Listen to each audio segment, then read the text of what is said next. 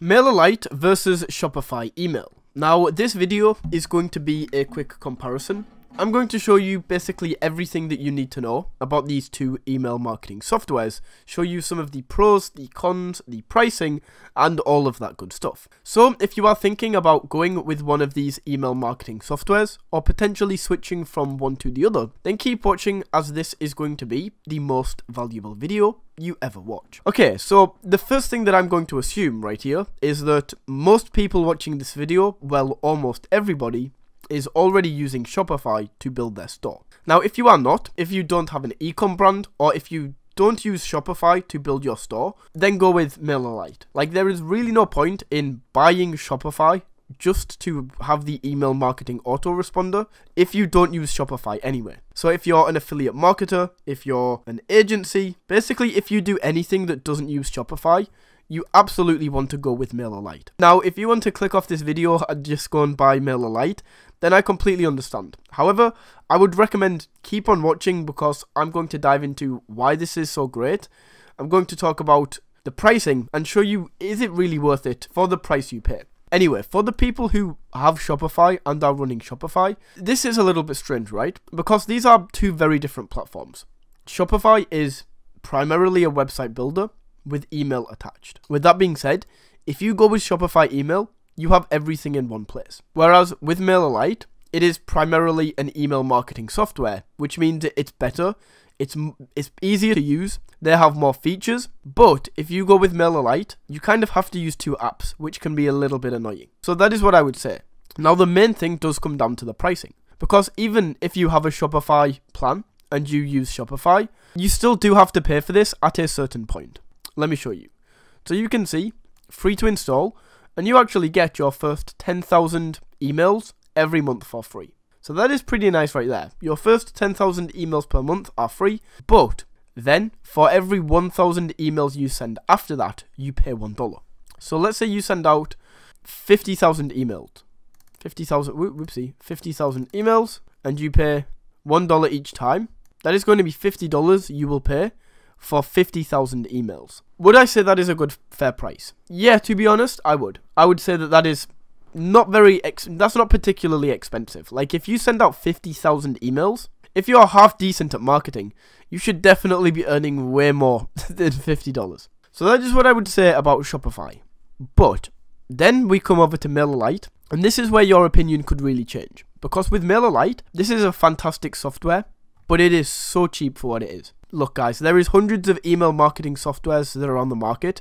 In terms of a product that is actually still good to use and cheap, I would go as far as saying MailerLite is one of the best on the market. And at the same time, it is priced very, very differently to how Shopify is priced. Because with Shopify, you pay for each email you send almost. You pay for each 1000 emails. Whereas with MailerLite, you actually pay, uh, depending on how many subscribers you have on your list, and then you get unlimited monthly emails. So let me show you where this can be handy. But first of all, let's discuss the free trial that you get with this. So the free trial, if you will, is you get 10,000 emails per month with Shopify, and it's free to install. So if you want to try out Shopify email, and you already have Shopify, like why not? It's completely free. Uh, but with MailerLite, you can see that if we come over here, you get two types of free trials. So the first one is a free trial where you can go up to 1000 subscribers on this account and you can send 12,000 monthly emails. Now this account does not expire. As long as you stay under 1000 subscribers, you send less than 12,000 monthly emails, you can keep this account for as long as you like. And you get everything there with it. Drag and drop editor, email automation. So, if you have a small list and you have under 1000 subscribers, then you can try MailerLite out for free. Now they also have a second type of free trial, where you can literally put as many subscribers on here as you want, and you can try this out for 30 days for free. Either any of these two accounts. So, what I would say is, why not try them both out? Try them both out and see which one you personally like better. I do have a preference, but I would say, why not try them both out and see which one works best for you? With that being said though guys, MailerLite, because of how cheap it is, it can work out a lot cheaper in order to send your emails. If we go here, you can see that if we have 10,000 subscribers on the list, we are going to be paying $54 per month. Now, you might be wondering, do I go for growing business or advanced? Honestly, when you're starting out, you just need growing business. Um, the advanced Facebook integration, custom HTML editor, you probably don't need this. Like, if you do, yeah, cool, go for advanced. For most people watching this, you probably only need growing business. As I was saying, $54 a month for unlimited monthly emails.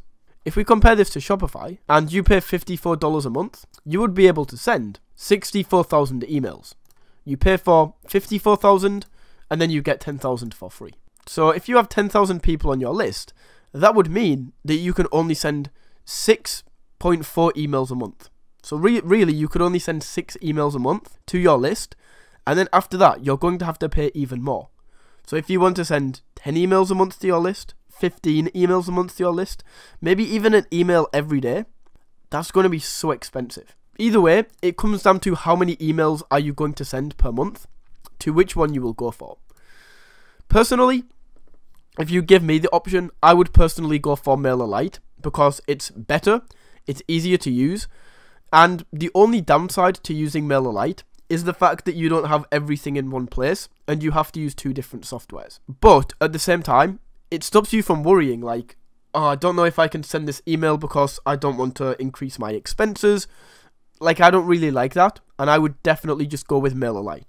That is my opinion. MailerLite is the winner for me, and the reason for this is because it works out cheaper for most people, it's a better tool, and you don't have to worry about how many emails you are sending. Now, that is MailerLite versus Shopify. If you learned something from this video, or if you found it valuable in some way, don't forget to smash that like button and tap that subscribe button, and until next time, take it easy.